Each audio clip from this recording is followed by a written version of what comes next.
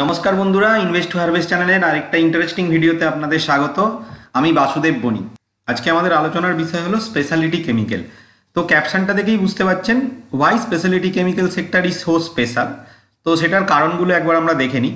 দেখুন, প্রথম কারণ হলো speciality chemical sector is one of the leading sector in terms of gaining global market share তো আপনারা জানেন আমাদের বেশ কয়েক বছর ধরে আমাদের ম্যানুফ্যাকচারিং সেক্টর ধীরে ধীরে হলেও বাড়ছে।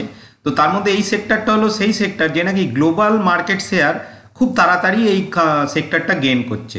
দু নম্বর পয়েন্ট দেখুন cost of raw material has decreased in last two two three years তো দেখুন কস্ট অফ র মেটেরিয়াল যদি কোনো কোম্পানির কমে, তার মানে আপনি বুঝতে পারছেন এদের প্রোডাকশন কস্ট কমে যাচ্ছে এবং প্রোডাকশন কস্ট কমে গেলে এদের কিন্তু বটম লাইন মানে প্রফিট ধীরে ধীরে বাড়ছে। Next point advantage of make in India initiative তো আপনারা জানেন, আমাদের কেন্দ্রীয় সরকার মেক ইন ইন্ডিয়া ইনিশিয়েটিভ শুরু করেছে। মানে এর ফলে কি হবে? না, আমাদের ম্যানুফ্যাকচারিং ইন্ডাস্ট্রি এই ইনিশিয়েটিভটা থেকে অনেক বুস্ট পাবে। তো অলরেডি যে কেমিক্যাল সেক্টরটা খুব ভালো কাজ করছে, তার মানে এই মেক ইন ইন্ডিয়ার সুবিধেও এই সেক্টরটা পাবে। তার পরের point huge R and D expense lead to product innovation দেখুন, এই যে স্পেশালিটি কেমিক্যাল কোম্পানিগুলো ইন্ডিয়াতে কাজ করে, তারা প্রত্যেকেই তাদের রিসার্চ অ্যান্ড ডেভেলপমেন্টে এত টাকা খরচা করছে, যার ফলে এরা নতুন নতুন প্রোডাক্ট তৈরি করছে, যার ফলে এই প্রোডাক্টের ডিমান্ড দেশে এবং বিদেশে ধীরে ধীরে বৃদ্ধি পাচ্ছে। আর লাস্ট পয়েন্ট হলো Indian speciality chemical sector is expected to grow with a CAGR of twelve percent in next five years তার মানে চিন্তা করুন, যে সেক্টরটা পুরো গোটা সেক্টরটা যদি নেক্সট পাঁচ বছরে বারো পার্সেন্ট সিজিআর বৃদ্ধি তার মানে বুঝতে পারছেন এই সেক্টরের টপ পাঁচ দশটা কোম্পানি কি হারে এদের গতি বৃদ্ধি পাবে? তো চলুন আমরা এই স্পেশালিটি কেমিক্যালসের একটা খুব ভালো কোম্পানি সম্বন্ধে একটু জেনে নিই। স্পেশালিটি কেমিক্যালসের এবার যে কোম্পানিটা নিয়ে আমরা আজকে আলোচনা করব, সেই কোম্পানিটার নাম আরতি ইন্ডাস্ট্রিজ লিমিটেড শেয়ার মার্কেটের সঙ্গে যারা আমরা যুক্ত, তারা অনেকেই এই কোম্পানিটার নাম আমরা আগে শুনেছি। যারা শোনেননি, তাদের জন্য একটু কোম্পানিটা সম্বন্ধে দু তিন লাইন বলে দিই।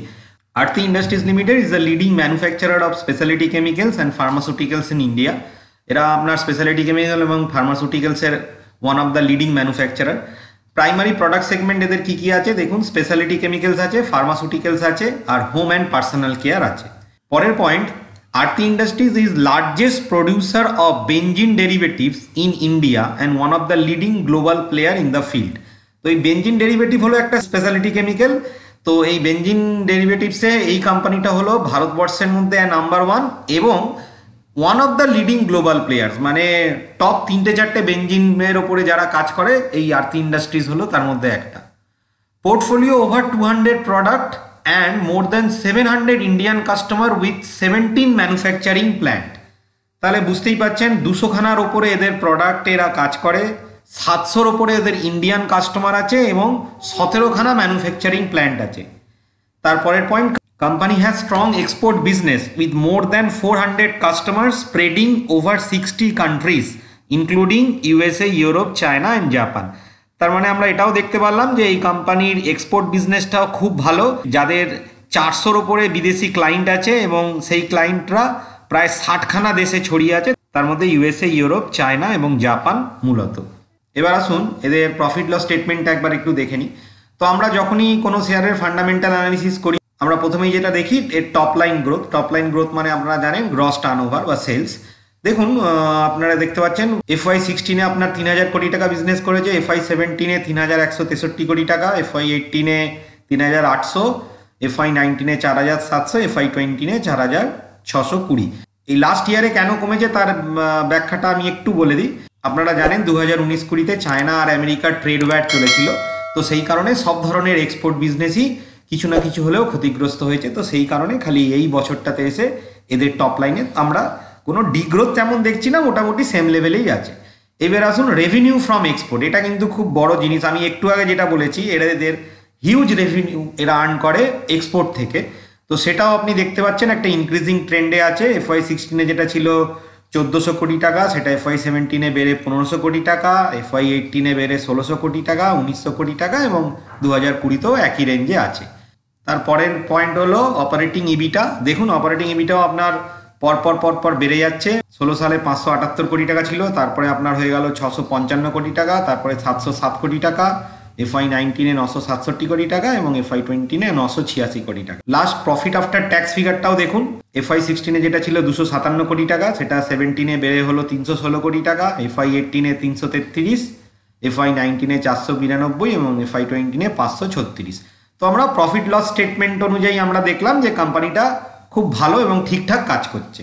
এবার আমরা শেষ দেখে নেব এই কোম্পানিটার ব্যালেন্স শিট ম্যাট্রিক্সটা একটু দেখে নিই ব্যালেন্স শিট আইটেমগুলো দেখুন, প্রথম যেটা আসছি নেট ফিক্সড অ্যাসেট তো ধীরে ধীরে হলেও দেখতে পাচ্ছেন এফ ওয়াই সিক্সটিনে আপনার বারোশো ছেচল্লিশ কোটি টাকা থেকে শুরু হয়ে লাস্ট বছরে এদের ফিক্সড অ্যাসেট দু হাজার চারশো আটষট্টি কোটি টাকায় দাঁড়িয়েছে।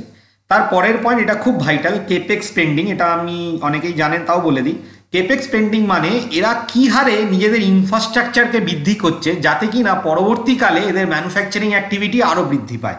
কেপেক্স মানে হলো একটা কোম্পানি কি হারে তাদের প্রোডাকশান ইউনিট মানে ম্যানুফ্যাকচারিং লাইন বাড়াচ্ছে। তো সেটা দেখুন এফ ওয়াই সিক্সটিনে যেটা ওরা চারশো আটষট্টি কোটি টাকা খরচা করেছিল এফ ওয়াই সেভেন্টিনে পাঁচশো তিরিশ কোটি এফআই না এইটিনে ছশো পনেরো কোটি এফআই নাইনটিনে সাতশো চুরানব্বই কোটি এবং দেখুন লাস্ট বছর এগারোশো তিপ্পান্ন কোটি টাকা কেপেক্স স্পেন্ডিং করেছে। আর এই কেপেক্স স্পেন্ডিংয়ের সঙ্গে সঙ্গে সঙ্গে আমরা এবার লাস্ট যে পয়েন্টটা দেখে নেব, সেটা হলো ডেপ্ট ইকুইটি রেশিও দেখুন ডেপ্ট ইকুইটি রেশিও আপনারা জানেন, একের নিচে থাকলে ভালো। তো এবার আপনাদের আমি বলি ডেপ্ট ইকুইটি রেশিও কখন বেশি থাকে? যখন আমি বাইরের থেকে টাকা নিয়ে আমি আমার কেপেক্স প্ল্যানকে বাড়াবো, তখন আমার অবশ্যই ডেপটা বেশি থাকবে। তো আমি আমার ফান্ডামেন্টাল অ্যানালিসিস ভিডিওতে আগে বলেছি যে আমাদের যেটা দেখতে হবে যে ডেপ্ট ইকুইটি রেশিও ধীরে ধীরে নিচে আসছে কিনা। তো দেখুন, এই কোম্পানিটার প্রথমে ডেপ্ট equity ratio one point zero nine ছিল, তারপরে ওয়ান পয়েন্ট ওয়ান এখানে এসে দেখুন এফআই এইটিনে এসে ওয়ান পয়েন্ট টু সিক্স তারপরে দেখুন, ধীরে ধীরে কমে গেল জিরো পয়েন্ট এইট এইট এবং এফ এফআই টোয়েন্টিনে জিরো পয়েন্ট সিক্স এইট তো আপনার ডেপ টু ইকুইটি রেশিও আপনার ধীরে ধীরে কমছে মানে এটা আপনার ভালো সিগন্যাল এবার আমরা আর্থি ইন্ডাস্ট্রির চার্টে চলে এসেছি। তো দেখুন যে কোনো ফান্ডামেন্টালি ভালো কোম্পানির চার্ট সবসময় ভালোই থাকে মোটামুটি। তো আমরা এখানে দেখুন দুটো লাইন প্লট করে নিয়েছি, একটা হলো ফিফটি এম এ আর একটা হলো two hundred EMA fifty M এটা দেখুন গ্রিন কালারের লাইন এবং টু হান্ড্রেড ইএম এটা হলো আপনার পার্পল কালারের লাইন। তো আমরা চার্টে দেখতে পাচ্ছি আপনার, এখন প্রাইসটা আপনার ফিফটি এবং টু হান্ড্রেড দুটো ইএমএরই ওপরে কাজ করছে। তার মানে আমরা বুঝতে পারলাম যে এটা একটা খুব ভালো বুলিশ ট্রেন্ডে আছে এবং আপনি খেয়াল করলে দেখতে পারবেন যে আরএসআই আপনার বর্তমানে sixty six point two eight তো আমরা জানি টেকনিক অ্যানালাইসিসের ভিডিওতে আমরা এটা শিখেছি যে যে কোনো শেয়ার যেটা নাকি আরএসআই যদি ষাটের ওপরে থাকে, তো আমরা বুঝতে পারব ওটা বুলিশ ট্রেন্ডে আছে। তো এই কেমিক্যাল সেক্টরের এই শেয়ারটা নিয়ে আমরা আজকে আলোচনা করলাম। প্রত্যেকবার আমি যেটা বলি, যখনই আমরা এই ধরনের স্টক কিনবো, ধীরে ধীরে কিনবো মানে এসআইপি মোডে কিনবো, কখনোই একবারে বেশি টাকার কিনবো না।